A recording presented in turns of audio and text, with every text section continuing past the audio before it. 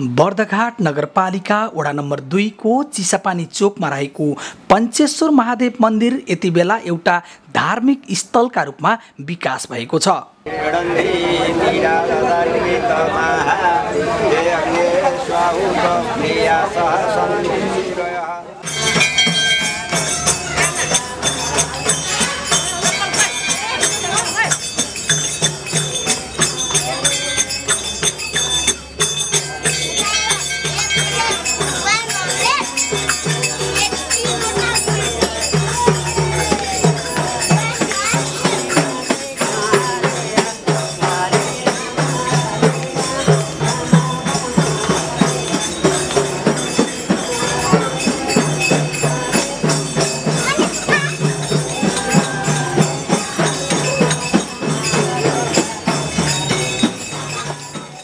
चिसापानीवासीहरूको मुख्य प्रवेश स्थल चोकमा नै रहेको दुर्गा मन्दिरका नामले परिचित उक्त मन्दिर परिसरमा पाँचवटा देवी देवताहरूको पाँचवटै मन्दिर रहेकै कारण सो मन्दिरको नाम पञ्चेश्वर महादेव मन्दिर नामाकरण गरिएको हो।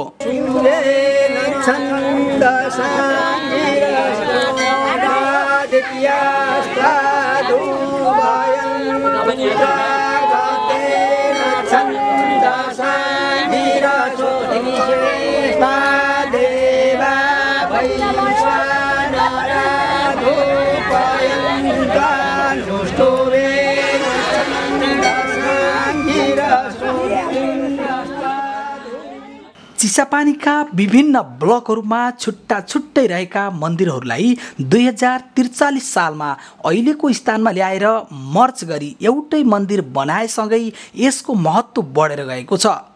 चिसापानी क्षेत्रका भक्तजनहरू पनि सबै देवी देवताहरूको एकै ठाउँमा पूजा आराधना गर्ने स्थलका रूपमा विकास भएकाले खुसी भएका छन्।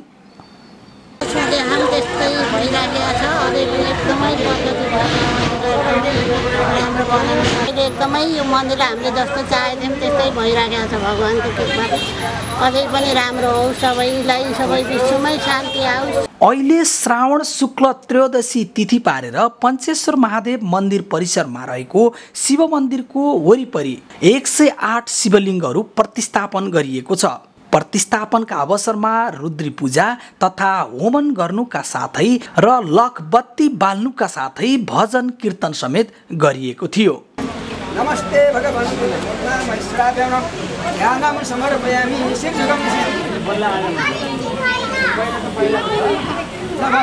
नमस्ते नमस्ते उमा महेश्वराय नमः। ध्यानम् आवाहनं समर्पयामि।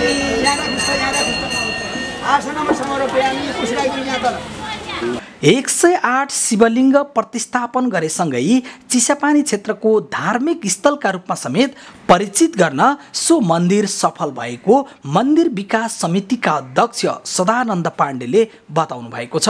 दुई हजार चौतिस सालमा हामी चारैतिर बसोबास गरेर यहाँ आइएको थियो र हाम्रा चारै ब्लकमा भएका मन्दिरहरू यहाँ एकै ठाउँमा बनाउनुपर्छ भनेर वार्ड अध्यक्ष महेश्वर शर्माले यहाँ लिएर आएर पहिला चारै ब्लकको एउटा काठी मन्दिर सुरुवात गरियो। त्यसपछि पक्की मन्दिर सन्तोषी माता भइन् दुर्गा मन्दिर भए शिवालय भए त्यहाँबाट नागको मन्दिर भए त्यहाँबाट होमन कुण्ड भयो त्यहाँबाट अब यहाँ हामी सत्सङ्गको लागि यहाँ नगरपालिका प्रदेश केन्द्रसम्म गएर कति सकिन्छ सहयोग लिएर आएर सत्सङ्गको राम्रो व्यवस्था गर्ने र बाटामा जाँदा गाडीमा चढ्दा झर्दा ठिक चोकमा सबैको आस्थाको केन्द्र भनेको अहिले धर्मैमा बढी बढ्दै गएको छ।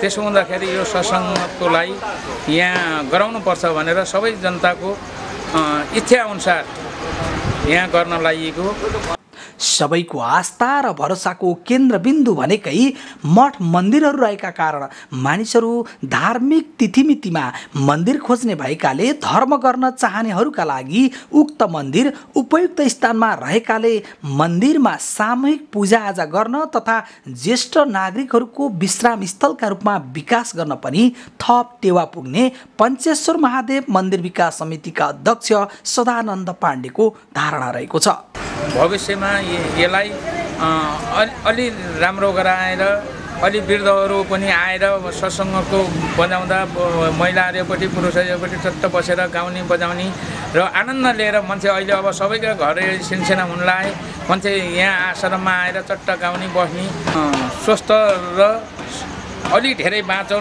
भन्ने इच्छाले उहाँहरू गान बजान गर्ने आनन्द रहने ठाउँ गराउनको लागि अघि बढिएको छ।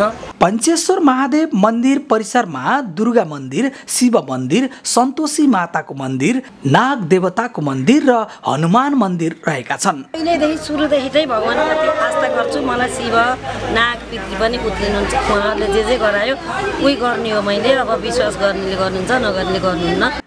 चिसापानी चोकमा रहेकाले सबैका लागि पाएक पर्ने भएकै कारण हरेक दिन स्थानीय तथा बाह्य भक्तजनहरू त्यहाँ पूजा आजाका लागि आउने गरेको र आफूहरूले पनि हरेक एकादशी तथा धार्मिक दिनहरूमा भजन कीर्तन गर्ने गरेको पञ्चेश्वर महादेव मन्दिर विकास समितिका सचिव कृष्ण प्रसाद लामिछानेले बताउनु भएको छ। चिसापानी दुई नम्बर चोकैमा दुर्गा मन्दिर सन्तोषी माता नागदेवता हनुमानजी अथवा शिव मन्दिर यहाँ रहेको छ। र यहाँ करिब करिब चार वर्ष यो कोरोना चैत्र एघार गतेभन्दा उता दैनिकी यहाँ चाहिँ चार वर्ष लगातार दैनिकी भजन कीर्तन भइरहेको अवस्था छ। दैनिकी भइरहेछ अहिले चाहिँ यो कोरोना आएदेखिबाट चाहिँ त्यति भजन कीर्तन भएको छैन। त्यही पनि हामी सामाजिक दूरी कायम गरिकन एकादशी एकादशीमा चाहिँ यहाँ महात्मा भन्ने कार्यक्रम चलिरहेको छ। र यहाँ अहिले पहिला पहिला भन्दा पनि बढी अहिले भगवान्तिर आस्था भएको कुरा चाहिँ हामी बुझिरहेका छौँ। यहाँहरूले पनि यो मन्दिर कस्तो रहेछ भनेर एकचोटि अवलोकन गरिदिनको निमित्त पनि हामी अनुरोध गर्दछौँ। अहिले भर्खरै हामीले एक सय आठ शिवलिङ्ग स्थापना गर्दै गर्दा आस्था पक्कै पनि भगवान्प्रति आस्था रह्यो भने मान्छेलाई सन्तोक हुन्छ। अरूभन्दा पनि धर्म हुने कुरालाई हामी जान्दैनौँ। धर्म के हो? धर्म भन्ने कुरो त धारणा गर्ने हो त्यो गर्छन् गर्दैनन् भन्ने कुरा हो जस जस्ताले पनि। तर यहाँ चाहिँ के भन्दा आस्था रह्यो भने मान्छेलाई एउटा सन्तोकको बाटो हुन्छ। क्रमिक रूपमा विकास हुँदै गएको पञ्चेश्वर महादेव मन्दिरमा अझै पनि सबैको साथ र सहयोग हुँदै गए अझ व्यवस्थित र प्रभावकारी हुने मन्दिर विकास समितिको कोषाध्यक्ष बिन्दु भट्टराईको भनाइरहेको छ।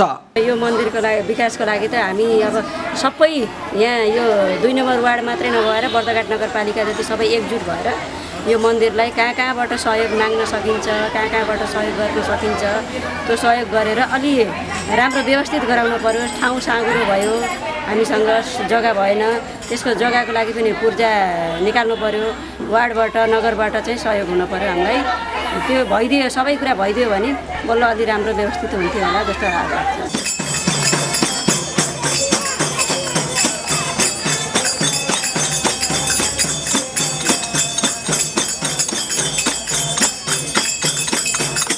गणन्ति